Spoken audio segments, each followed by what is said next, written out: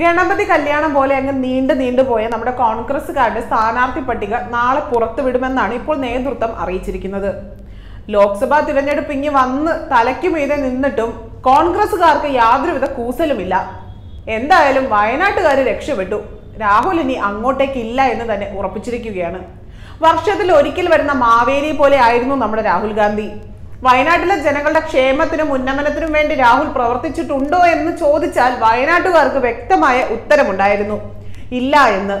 എന്തായാലും പ്രധാനമന്ത്രി കസേര മോഹിച്ച് നടന്ന രാഹുലിനും അമ്മയ്ക്കും ഇപ്പോൾ കിട്ടിക്കൊണ്ടിരിക്കുന്നത് നല്ല എട്ടിന്റെ പണിയാണെന്ന് മാത്രം. എവിടെ മത്സരിക്കും? ആര് സീറ്റ് നൽകും എന്ന് പോലും ഇതുവരെ ഒരു വ്യക്തതയില്ലാതെ ജോഡോ യാത്രയുമായി കറങ്ങി നടക്കുകയാണ് നമ്മുടെ രാഹുൽ. ഇത്തവണത്തെ ലക്ഷ്യം പാളിപ്പോയി എന്ന് മാത്രമല്ല തോറ്റു തുന്നൻ പാടാൻ റെഡിയായിരിക്കുകയാണ് ഈ അമ്മയും മോനും. പിന്നെ രാഹുൽ ഗാന്ധി അല്ലെങ്കിൽ മറ്റാര് വയനാട് കൈയടക്കും എന്ന ചോദ്യം ബാക്കിയാവുകയാണ്. ലോക്സഭാ തിരഞ്ഞെടുപ്പിൽ അന്തിമ സ്ഥാനാർത്ഥി പട്ടിക തയ്യാറാക്കാൻ K P C C president K സുധാകരനും പ്രതിപക്ഷ നേതാവായ വി ഡി സതീശനും ഇപ്പോൾ ഡൽഹിയിൽ ലാൻഡ് ചെയ്തിട്ടുണ്ടെന്നാണ് ലഭിക്കുന്ന വിവരം. ഹൈക്കമാൻഡ് നേതാക്കളുമായി പ്രാഥമിക ചർച്ചയ്ക്ക് ശേഷം നാളെ തിരഞ്ഞെടുപ്പ് സമിതി യോഗം ചേർന്ന് അന്തിമ തീരുമാനമെടുക്കുമെന്നാണ് അറിയിച്ചിരിക്കുന്നത്.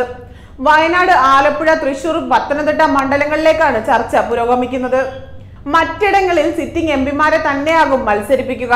കണ്ണൂരിൽ കെ സുധാകരനെ തന്നെ മത്സരിപ്പിക്കണം എന്നാണ് ധാരണയായിരിക്കുന്നത്. രാഹുൽ ഗാന്ധി വയനാട്ടിൽ മത്സരിക്കില്ലെന്ന സൂചന കിട്ടിയതോടെ സീറ്റ് പിടിക്കാൻ നേതാക്കൾ ഓട്ടം തുടങ്ങിയിട്ടുമുണ്ട്. U D F convener M M Hassan Shanimol Usman Aryadan Shoukath Alipatta Jameela എന്നിവരുടെ പേരുകളാണ് പരിഗണനയിലുള്ളത്. കെ സുധാകരന്റെ നോമിനിയായാണ് ജമീല കയറി കൂടിയിരിക്കുന്നത്. വയനാട്ടിലെ മത്സരം ബി ജെ പി പ്രചരണ ആയുധമാക്കുമെന്നും യു പിയിലെ സഖ്യസ്ഥിതി മെച്ചപ്പെട്ടതുമാണ് രാഹുലിനെ പിന്തിരിപ്പിക്കുന്നതും. ഭാരത് ജോഡോ ന്യായ യാത്രയ്ക്ക് യു പിയിൽ അഖിലേഷ് യാദവിന്റെ നേതൃത്വത്തിൽ സ്വീകരണം നൽകിയിരുന്നു.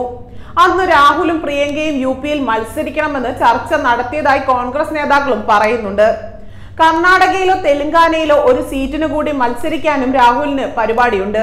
ഇക്കാര്യങ്ങളൊക്കെ നാളത്തെ യോഗത്തിൽ ചർച്ച ചെയ്ത് തീരുമാനിക്കുമെന്നാണ് ലഭിക്കുന്ന വിവരം. പിന്നെ പത്തനംതിട്ടയിൽ ആന്റോ ആന്റണിയോട് വലിയ താല്പര്യമൊന്നും ഇപ്പോൾ നേതൃത്വത്തിനില്ല എന്നാണ് അറിയാൻ കഴിഞ്ഞത്. സമരാജ്ഞിയുടെ പരിപാടിയിൽ സുധാകരനെ സുരേന്ദ്രനാക്കിയതിൽ പ്രശ്നങ്ങൾ ഇപ്പോഴും അലയടിക്കുന്നുണ്ട്. കണ്ണൂരിൽ മത്സരിക്കാനില്ലെന്ന് സുധാകരൻ കടുംപിടുത്തം പിടിച്ചതിന്റെ ലക്ഷ്യം മറ്റൊന്നുമല്ല. K P C C president സ്ഥാനം തുടർന്നുകൊണ്ട് മത്സരിക്കണം എന്നതാണ് ഇക്കാര്യത്തിൽ എന്തെങ്കിലും ഉറപ്പ് നേതൃത്വം നൽകിയിട്ടുമില്ല. പത്തനംതിട്ടയിൽ ആന്റോ ആന്റണിയും തൃശൂരിൽ ടി എൻ പ്രതാപനും ജയിക്കാൻ സാധ്യതയില്ലെന്നാണ് നേതൃത്വത്തിന് നൽകിയ റിപ്പോർട്ടും. ഈ സാഹചര്യത്തിലാണ് പുനർ ആലോചനയും നടക്കുന്നത്. എന്നാൽ രണ്ട് സിറ്റിംഗ് എം പിമാരെ മാത്രം മാറ്റി നിർത്തുന്നത് പ്രശ്നമാകുമെന്നതും ചർച്ചാ വിഷയമാണ്. പട്ടികയിൽ നിന്ന് വെട്ടി മാറ്റിയേക്കാമെന്ന വാർത്ത പരന്നതോടെ ഇരുവരും ചുവരെഴുത്തും തിരഞ്ഞെടുപ്പ് പ്രവർത്തനങ്ങളുമൊക്കെ സജീവമാക്കിയിട്ടുണ്ട്. കൂടുതൽ വാർത്തകൾ അറിയുവാനായി ഈ ചാനൽ സബ്സ്ക്രൈബ് ചെയ്ത് ഫോളോ ചെയ്യുക.